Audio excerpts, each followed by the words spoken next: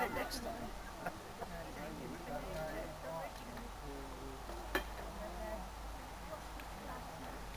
Range two yards now. Hopefully.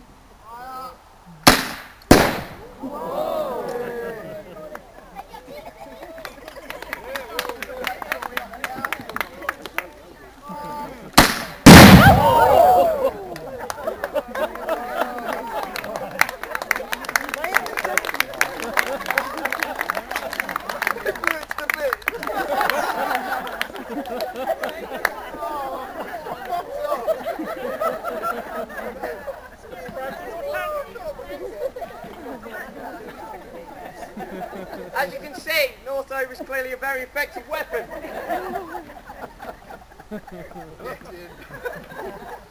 Ladies and gentlemen, thank you very, very much for coming to Donington le Heath today and supporting our World War II event.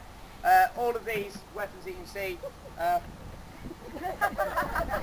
when Neil's composed himself, the Northover projector and the pyrotechnics all belong to Neil here, so I think Neil deserves a round of applause